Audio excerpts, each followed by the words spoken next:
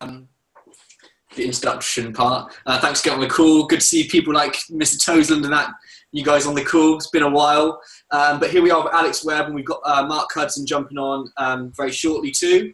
We've got a few questions for Al, but um, yeah, just first of all, Al, how are you doing, mate? You all right? Absolutely super. How are you doing, guys? Yeah, really good, really good. Starting to feel flustered. Uh, so I've got some questions here um, from the guys in the team. Um, in no particular order, as X Factor says. Um, the first question really is: is what? Um, like how do you get sales when starting out? Like, what strategy um, would you use to find your first customer? Make a list. Yeah. Make a, just make a list. Okay. Don't, don't pre yeah don't prejudge. I mean, what I tend to do when I'm sort of looking at people or this trying to get um, any type, any type of, basically I run them both online. You know, it runs together. It doesn't run on its own. You know, if you're going to talk to someone, they're either going to be uh, opportunity driven or they're going to be, or they're going to be both. Um, who's crazy there at the background. Um, but when you sort of go out, the first thing you have to do, and most people don't do this, make a list of as many people as possible. And, you know, just don't, you know, the guy in the garage, this, that, and the other, the, the, his wife, just, just get people's names and numbers. I mean, I keep saying to people, you know, you, you said something very interesting there, Dan. You know, how would you get more customers for the beginning of the year or even now? I said it on the last Zoom call grab yourself a little black book, and every party you go to, speak to people and have exactly the same pitch just say, listen, I've got something you might be you might find interesting. And just leave it at that and say, what is it? Say it's nutrition. And don't go any further than that. Don't start saying, I'll send you a link, I'll do this. Just jot the name down, where the party was, and some sort of reference so you can remember them. And I'll guarantee this by the end of um, Christmas, you'll have a hundred people, right? If you break that down, this is what this is where a lot of people don't get the numbers game. If you break hundred people right down, you're probably going to get, I would say, even if you're not very good, ten to fifteen sales. Even if you're not very good, somebody will look on the website and say, oh, "That's interesting. I'll try it." And some of them will be opportunity driven, and some of them will be both. And what you need to do is put out the right seed for get the right feedback. Your job is to listen, it's not to speak, it's not to sell. Don't sell anything in this business, right? It's too high a commodity. Okay? And a lot of people aren't even ready for the opportunity. Sorry, I've got something in my voice there. But yeah, I mean, getting new people, the first thing I do is make a list again. That's all I do. There's, you know, there's no other two ways about it. And then hit the phone or hit the um, inboxes. But you know, some people say, I mean, can you uh, can you put me on big screen so I can uh, see everyone? I just want to ask everyone something. Is that better? Uh, no, maybe it's me. Oh no. Uh, no, it's all right. You can't do it. I mean, maybe maybe um, just um, what I'm saying to you. Last month was pretty good. The month before was phenomenal, right? Our minds all work in different ways. Sometimes when we don't hit our mark, we sometimes get really a little bit, uh, I don't know, depressed or something because we didn't hit the mark. But that's part of your journey to get to that um, uh, mark. It's a bit like Dan. Dan's pushing so hard with Harriet to get to those next positions. and he really wanted NMD this month. You know, he was a little bit short. I know he'll, he'll smash it in um, uh, uh January. But his attitude was like this. I don't think I'm going to go. I don't think I'm going to make it out. And I said, Are you sure? Are you got any more in the pot? He said, No, I, I, I, and I'm happy with it. It's a great learning curve. And that was the thing that I liked about Dan. Is he, he took something that was could have been devastating and turned it into massive positivity. And that's what you've got to look at all the time with Dan and Harriet. how they turn the negatives into a positive. And this goes on and on and on through your whole career. So if I say to you, how many clients do you want to get for the new year, will determine on how big your list is. If you've got a list that big, guess what's going to happen? If you've got a list that big, guess what's going to happen? And don't prejudge people. I mean, don't go to people who are obviously not going to help themselves. There's no point. there's no point. You know, you might be able to do the product that way. But really, guys, get yourself a little black book. I'll have my own book. I will be collecting names and numbers and stuff like that right now, all over the place. Everywhere I'm going right now, I'm just getting names and numbers. And all I'm doing is um, making it bigger and bigger and bigger and bigger so I can go back to the pot. And if, so, and if some do, great. If some don't, great. Some will, some won't. So what next? It doesn't make any difference. This is a numbers game. It's getting through the hundred.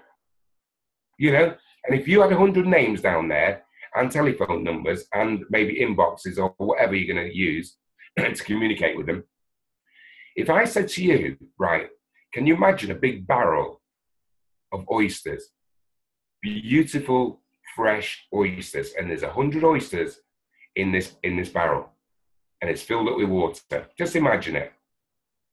And inside one of those oysters is a massive black pearl worth absolutely thousands. Would you open all the oysters? Just think about it. Of course you would. It's the same with this. It's a numbers game. Hey, guess what? You might open the first oyster and the black pearl's there. Pretty good luck. When there's 100 there, it's 100 to 1. But would you give up on 92? Three, four, five, six, seven, eight, nine, ten. No, you hit the 100. And guess what? Once you do that, that is the price you're paying to find the pearl. It's a numbers game. It's how you deal with something. When somebody says no, guess what? As it happens, Alex, you know, I'm not really interested in your business and I don't really like your product. And as it happens, I don't even like you. You're going to get all that. I've had it. It doesn't make any difference because what you're doing right now is putting your armor on to go right through this next stage. Now, at some point, some of you in December are going to have a great month, and some of you are going to believe that everybody else is not interested in doing anything. Wrong. I went sales coordinator in December because I didn't think about it. I didn't go, I'm going to buy into December. I'm not going to go, I'm not going to make it this month. I didn't do it. I didn't, I didn't do it. I just did more. And that's why my business is, is grown so big because you, if you can grow with your business, you can then teach your people and hold their hand to take them through everything that you're going through. Because next year you're going to have loads of um, people in your group that's going into their first Christmas. How do you deal with it? How do you get your mindset correct? So, getting right back to what Dan said from the very beginning, you want more punters, make a bigger list. Just to follow on from that, Al. So, you've got your list of people. What's the first thing you would say to approach these people when it comes down to the crunch of following up?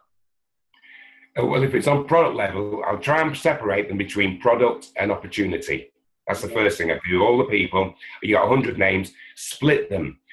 because not everyone will be driven by the product and not everyone will be driven by the pro- uh, making money. But it's the questions you ask. And I always say to this do you know anybody who wants to look good, feel good, lose weight, make money on Facebook? and 90% of them say me or yes. And then somebody, you know, the good thing about it is somebody's going to say to you, I don't know anyone. Well, guess what? They're not going to want to be in your business. So you can cancel them out. The other people you put to one side, oh, yeah, I know loads of people who want to look good and, feel, and, and lose weight. And all on the internet. Do you know any um, single mums? Oh, yeah, I know that. And you start asking the right questions and then come back and listen. You know, you you go like that. Use your your mouth and your ears in the right, you know, proportion. Because most of us tend to try and um, sell ourselves, and we don't. It's not about selling ourselves. It's about listening to what that lady or that guy says. Or it might not be him. It might be his mum who wants the product. And that's the. I'll send some information for your mum and start putting out by the information. You'll know exactly what to send to somebody if you listen to them, which means you could go through your 100 names probably in a week. And if you've got an opportunity meeting, in uh, when's your next one, Dan? We've got um, the opportunity, sort of, it's like a Christmas party thing on Wednesday. Um, and then after that, our next big one's going to be in January. So Wednesday really is our next one. You see, I, me personally, I would if, if, if there was a party going on like you're doing in Manchester, I would have driven somebody up from uh, from Bath to Manchester to see the people, not to see the business, not to do that. Just say, hey, what do you think the people? Said, These guys are great. They're all focused and they can't wait to get into next year. Most people don't get that from other people. They don't get that motivation from the average person. We do because we live it.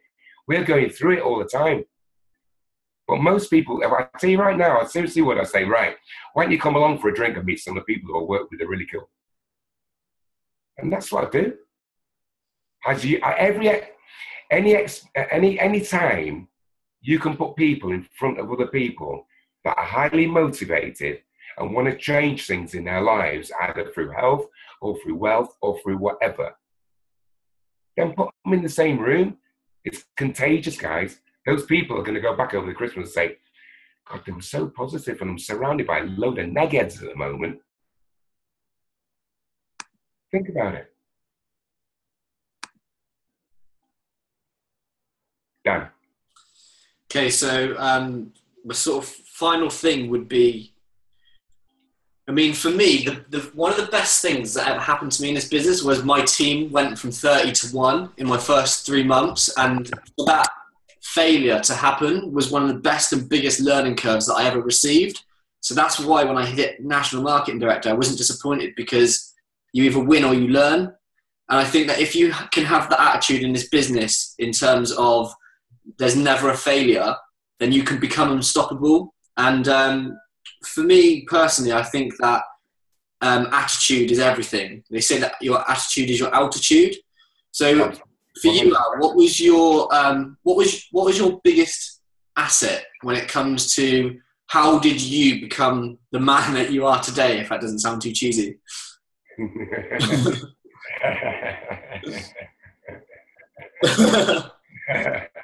um, same way you're doing it, man.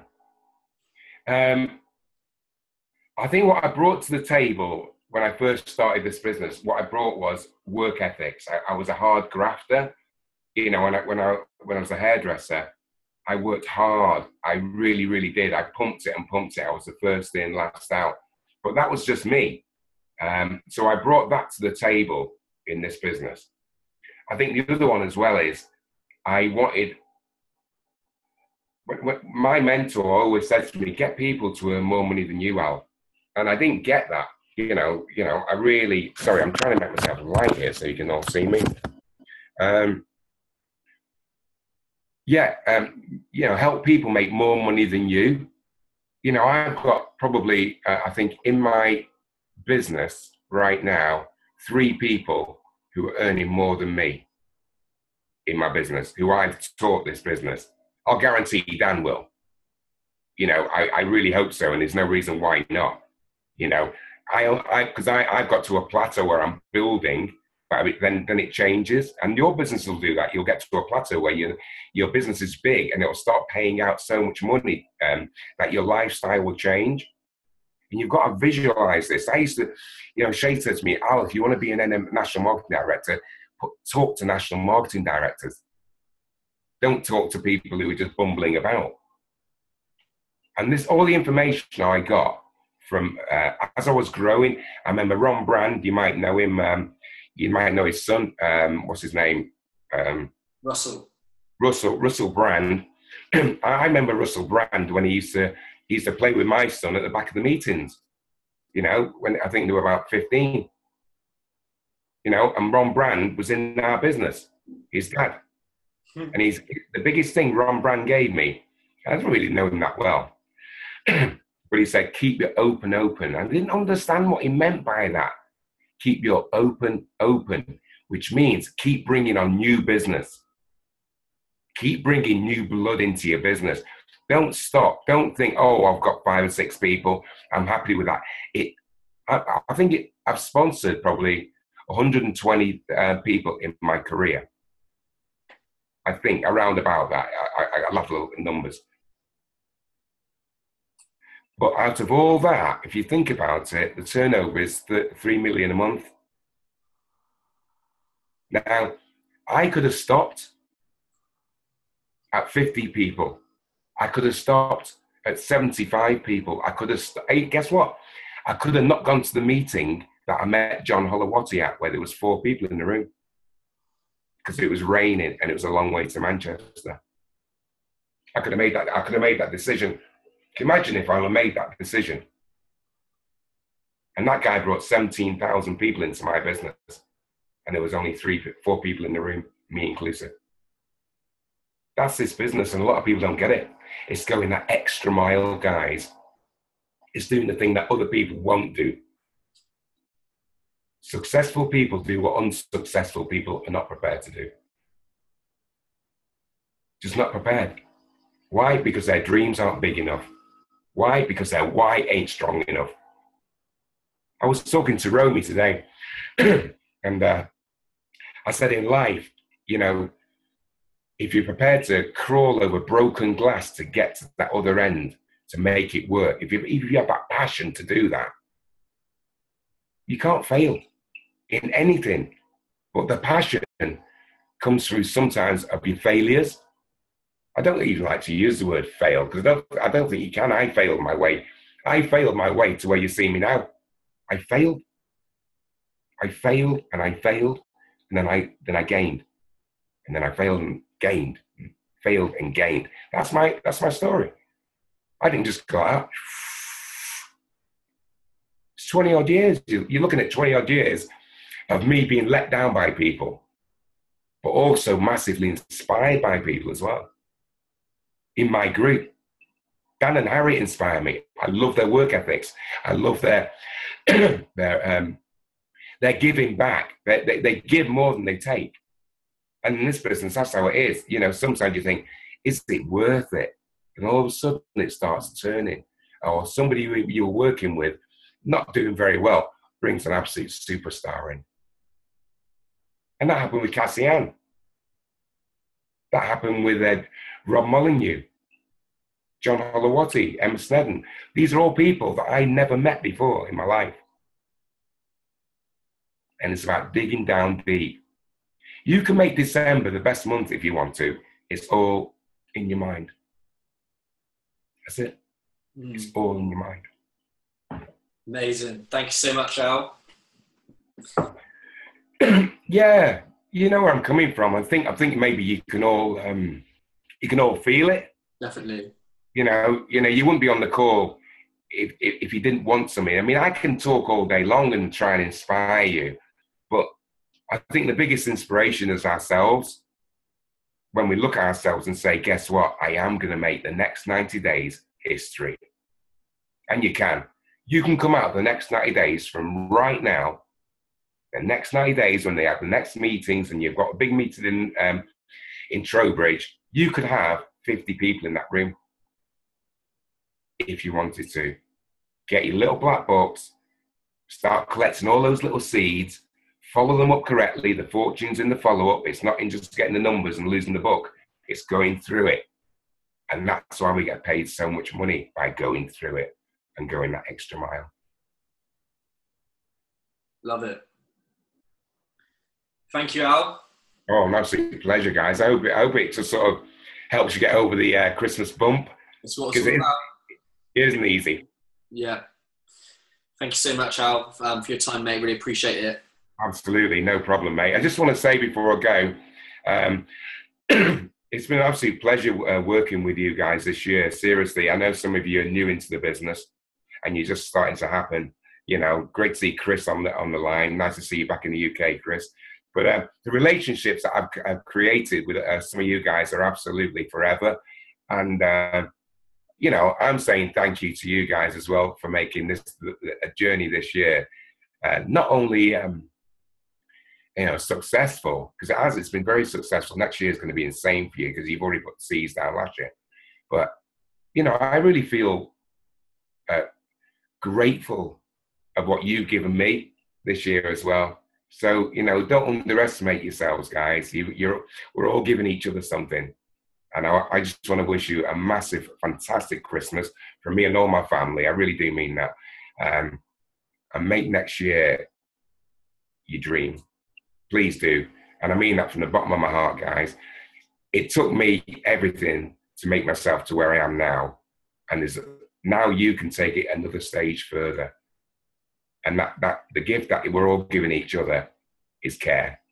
Just care for each other. And have a fantastic Christmas. Stay cool, guys. Thanks, Al. Cheers, man.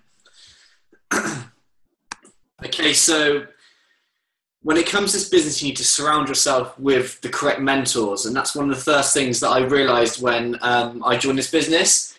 And I went to um, a night in a game plan where John Holowati put on an event. And I had Alex Webb as my, as my mentor at the time. But then I seen this guy on stage.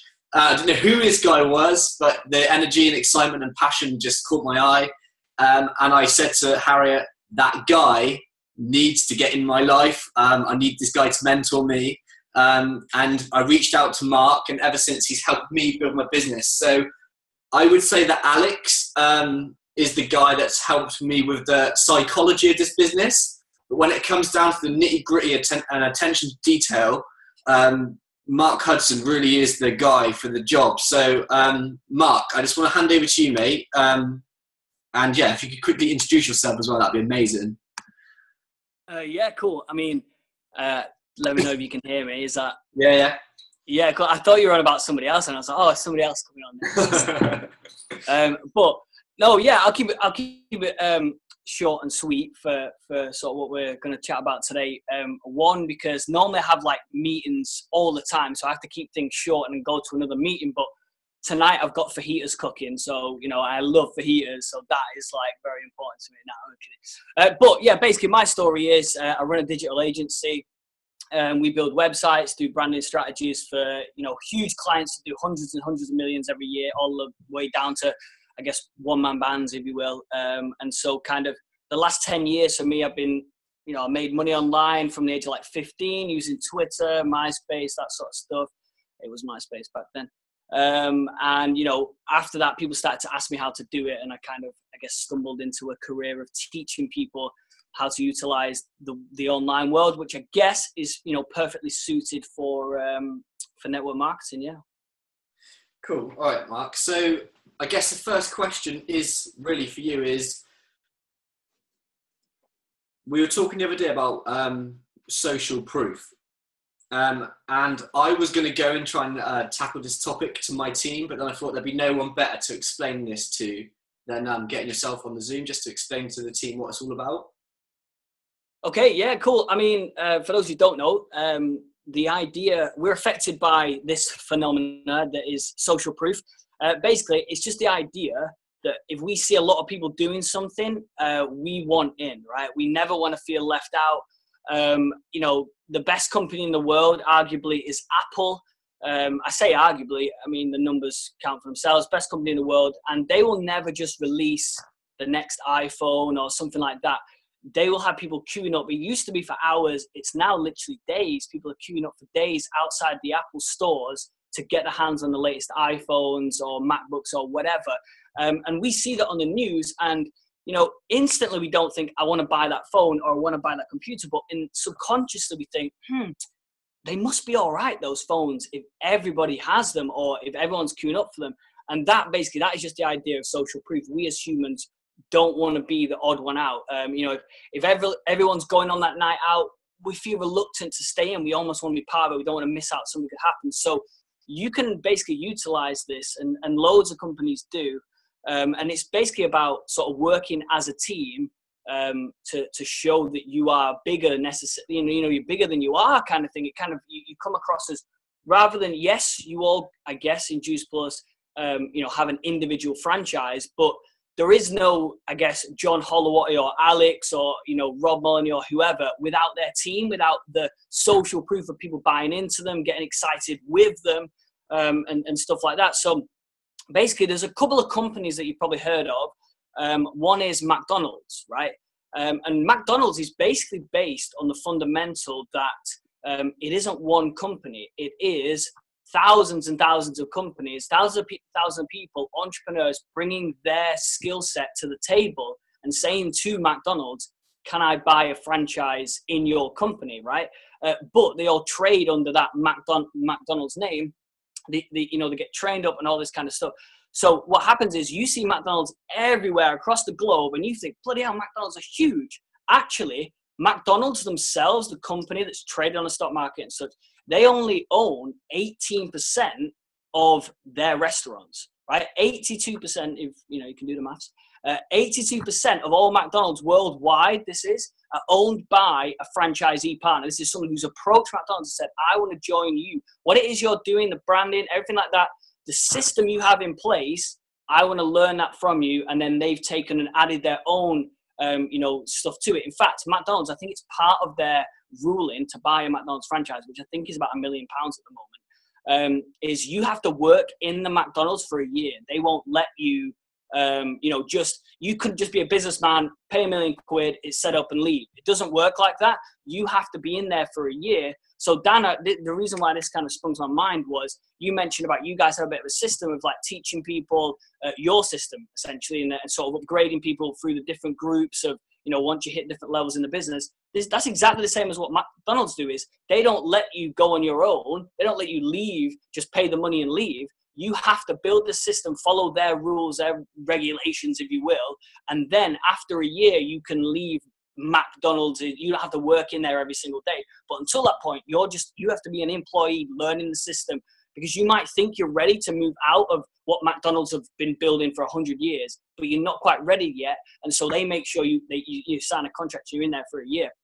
Um, so that's a, a good um, sort of analogy uh, with regards to especially XXY and all that kind of stuff is you guys as a team can do so much more than if you do it all individually because you keep adding to one pot and that pot just keeps getting bigger and bigger of everybody's ideas rather than just adding to your own where it's only your ideas and maybe a few people you bring into the business. Um, and this works so kind of well when you have groups where you know you're adding potentials into that. If you've got your testimonial in that group that's great. But if somebody over here who's a single mum's got a testimonial in that and you had a single mum you can just connect them you know tag them under that video you know, you've got a single mom looking at a single mom who's got the same testimonial. Same somebody who's in the army, you've got somebody in there. Whereas if you start splitting off, it's a lot harder, I guess, uh, to do that. So I would encourage, you know, staying as a team, staying pretty solid, and following that McDonald's way of saying, look, I'm going to stay in for the equivalent of my year in McDonald's. I'm going to stay in. I don't know why the hell I keep going on about McDonald's here, but hmm. you're, you're staying in XY for that equivalent time to, to, to until you know you're 100% ready. And I'm sure Dan and Harriet they have like a time of when they think people are ready, etc., etc. But I would listen to that. They've been around uh, the business. They understand that people try and go off on their own, and then they get frustrated when something doesn't work. If you fail together, and similar to as Alex is saying, you can't actually ever fail. That's not really a real uh, thing. But the, let's say, yeah, we'll use the term fail. If you fail together, then somebody in the group in XXY might be like, I went through this like six months ago, and as a team, you can sort it out and go, yeah, it was this easy to kind of overcome it. Whereas if you split off into your own little things, you might think you're the only person who's ever been through that problem. And so it's a lot harder to kind of overcome and stuff like that. And another kind of uh, massive thing for social proof is everybody thinks that Coca Cola is like a big company. Uh, you know, it's on stock market, all that kind of stuff. Coca Cola isn't a big company. Coca Cola is like nearly 300 companies. And basically, what that is exactly the same as from a franchise perspective um, the 300 companies have bought into the idea of Coca-Cola. And so more, most importantly, Coca-Cola had a system, syrup, right, which is basically what they sell, what they franchise and license, and you add soda water to it in a certain way. So basically, this is the exact same thing you guys can do in XXY is you, you're, a, you're a franchise within a franchise. So yes, you've got your Juice Plus franchise, but the brand you've bought into, the people you've bought into, you bought into them for a reason. Um, and so what I would say is, is stick with them until you're ready to create your own system when you're big enough, when your team's big enough. Now, again, Dan and Harry will know that kind of number in their brain. Um, but basically, as a team, you can do so much more, especially from a testimonial standpoint, because you may have never been through a certain problem, but somebody in the extended XXY team may have been through that problem. Uh, so if a potential, a potential comes to you and says, "Look, thinking of joining your business, but you know, you know, I can't afford it or whatever." Somebody else may have been in that same problem in XXY It's not in your direct team. If you if you're in those groups together as a team, you can go to that person with confidence and say, "Hey, you know, Julie's a potential. Look at Sarah's testimonial." Uh, and then the next time when Sarah has, you know, a potential and she doesn't resonate with that potential perfectly, she can come to you and say, hey, would you mind sharing that testimonial? Or she can tag under your video of your testimonial. So as a team, it's so much easier, so much stronger. And for those who do or don't know uh, who Team Rhino is or was or still is, you know, um, Alex's team essentially, everybody uh, pretty much under Alex was within is in Team Rhino, and the reason that works so well is because the equivalents of your Emma Sneddens, Emma Carrons, etc., Katie Rabies, they were all they all had their own little groups, but everybody was buying back into that Team Rhino, and so there was so many huge, huge people uh, within that group that it just grew uh, bigger and bigger and bigger because there was so many testimonials, so many awesome people in that group. It looked amazing. You know, whenever they did events, there was always hundreds of people there rather than just five or ten. Whenever they did Zoom calls or whatever equivalent back then, there wasn't just five people on the call. There was 200 people on the call. Um, so from an outsider looking in, people are going, bloody hell, this is big. This is a movement. This isn't just a few people getting together and saying, oh, this idea is all right. It's hundreds and thousands of people getting together going, Jesus Christ, let's make something of this. So yeah, basically, uh, social proof is very big. so, um, apart from the like the mass Zoom calls and everything, what would you say? Um, what's the best way of utilizing social proof on not only online but offline too? Yeah, yeah, okay, cool. Uh, so offline is definitely events. So if you could, rather than doing, let's say, ten, um, you know, ten man events, do one one hundred man event. Now, really, if you the, rather than doing a 10 10 man event so those those 10 man or women or whatever um, equivalent you could do them online or in a group or whatever but as quick as possible is get people into the you know uh, the bigger events and stuff where they can they they see bloody hell this is real. There's hundreds of people in a room on a random tuesday night. Why the hell are they doing that and they're not going to go around to every single person and say why are you here why are you here they make their own conclusion up of oh it must be something real it must be something big so events for offline try and get as many of you guys. I know you obviously live all in different areas, but you know if you could come together and get an area that is like um, where you can all kind of get together as many times as possible and just get as many people there as possible. And as Alex rightly said, you know, don't just put events on all the time. You know, do have meals, have meals out, go just do random things. Um, because people don't have that from normal jobs, if that makes sense. People don't just go on random meals out maybe for someone's birthday or someone's leaving or whatever, but they don't just do it for no reason. So it's kind of like if you had a, a, a, restaurant and you booked out the whole place, there might only be 30 people, 30 of you there, probably a small restaurant, I suppose, if you book out 30 people. But like, yeah, there might be 30 people there, but on social media, then we take a picture and say, yeah, we booked out the whole place or whatever. I'm looking at that and I'm thinking, fucking hell, like it must be pretty big if you, you're, you're filling a restaurant up and there's this many people at a meal and that looks quite fun. So definitely offline, get as many people together as possible because from an outsider looking in, it just looks so much more powerful rather than two or three of you going, oh yeah, we had a, we had a nice meal out. Anybody can do that. Whereas normally when there's 30 people together, that's just a birthday. It's just a celebration. It's something special. So our brains go, oh, if there's 30 people, you know, a meal or whatever, it must be something special. What is this? Let me take a look at it. So hope that kind of makes sense with regards to offline. Definitely. Um, from an online perspective, just yeah. really quick, the equivalent is just take pictures in rooms full of lots of people, not just like random rooms. I mean, like, like you just like trying to find, you know, a football stadium. Look at me and all my friends. You know, like, as in, you, you know, at events and stuff, take pictures uh, and say, yeah, what a great business meeting tonight that was with 20, 30 people in the background. You know, even better um, is if you can be on, you know, the front of these 30 or 20 or 30 or 40 or 100 people saying, yeah, I managed to tell my story tonight, that was amazing or whatever, that again is huge social proof. So as an outsider looking in, I'm going, bloody hell, if you're stood in front of 100 people, that must be something pretty big, something pretty cool. You, you must be the go-to person. I'm going to approach you about the business. If you stood in front of five people, I'm going to go, mm, you're probably not that good. That's why there's only five people. And like, like I say, obviously everyone has to start somewhere, but the beauty of you guys in XXY is it's already been started. That movement has already been created for you. You can just follow the equivalent of the McDonald's system or the Coca Cola system. That's already in place. You just put your spin on that, if that makes sense. And then when you're ready, like you sit down with Dan, Harriet, whoever, and then they help you create your version of the system that other people do the exact same thing. And it just, it just follows and follows and follows and just duplicates, which is the perfect system for network marketing, basically. Perfect. So I guess the, the one way we can implement social proof right now is to put this on gallery view, take a photo of the screen and say what an epic Zoom we've just had, right? Absolutely, yeah. That's a great, great thing. Yeah, anything like that. Let's Just make it. sure you get my good side. That's all I'm saying. right, Mark, you're an absolute legend, mate. Thanks so much for your time. I know you're a busy man. Um, yeah, no problem. Thanks everyone else for getting on the Zoom call. Um, I'm going to upload the recording on YouTube, um, so you can search it on there. Alex Webb, Mark Hudson Zoom call. Um, but yeah, cheers, guys. Um, any questions, just PM me. Peace out, guys. See you later. Peace.